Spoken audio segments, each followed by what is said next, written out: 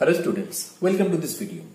In the last videos, we had discussed about how to define a set, elements of a set, some properties of set and most importantly the representation of sets.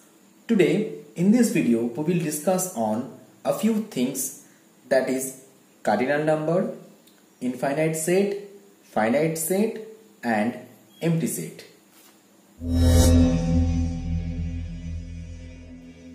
So our first topic is cardinal number. The number of elements in a set is called cardinal number. So let us go for an example. The set of vowels in English alphabet. So here we can call the set as A and A is equal to A, E, I, O, U. Now if we count the number of elements, so there are 1, 2, 3, 4, 5 elements so the cardinality of A, that is the cardinal number of A is 5 and we express this cardinal number in this form n of A. Let us take another set, the set of letters in the word cardinal. So let us call the set as B and the letters are C, A, R, D, I, N. Now A is already here so that is why we will not repeat A and at last it is L. Now let us count how many elements are here. 1, 2, 3, 4, 5, 6, 7. Therefore, n of b is equal to 7. Now let us talk about types of sets. There are different types of sets such as finite set, infinite set, empty set, disjoint sets, joint sets, equal sets, equivalent sets. In this video, we shall talk about the finite sets, infinite sets and empty sets. So at first finite set. A set is said to be finite if it has a limited or countable number of elements in it. So let's go for an example. A set of natural number between 10 to 15. Let us call this set as A. So A will be 11, 12, 13, 14 because between 10 to 15 there are 4 natural numbers so therefore we can count it and it is finite.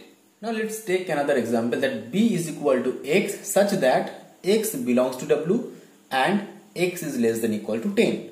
So definitely b will be 0, 1, 2, 3, 4, 5, 6, 7, 8, 9, 10 because it was less than equal to so that is why 10 has been considered and because the whole number starts from 0 so we have counted from 0 and ended at 10. So we cannot go uh, further that.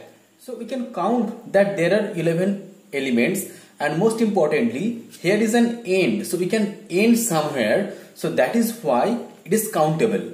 So this is a finite set. So let's go for infinite set. A set is said to be infinite if it has unlimited or uncountable number of elements in it. So let's go for an example. Suppose P is a set of prime numbers. So this will be the form of P that is 2, 3, 5, 7 and so on. So we cannot end by counting. So it is uncountable. So therefore it is infinite. It has actually no end. Let's go for another example that is Q. Q equal to X such that X belongs to W and X is greater than 20. So we can write Q in this form 20, 21, 22, 23 and so on and we cannot end by counting. So it is infinite set. Now let's talk about empty set. The set with no element in it is called the empty set or the null set.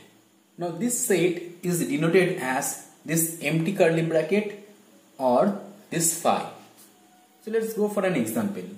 A is the set of students in your class with height more than 10 feet.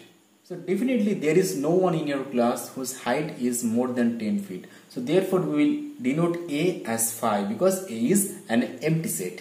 So let us take another example. B is the set of rectangles with 5 sides. So you can never find a rectangle with 5 sides. So therefore there is no element in B and so B is empty set and it is denoted as phi. So students I want to mention one thing here that the cardinal number of an empty set is 0 because there is no element so the total number of element is 0 so the cardinality of the empty set is 0. So students, what we have learned today? We have learned cardinal number, infinite set, finite set and empty set. I hope you have understood. So thank you. Thank you for watching this video.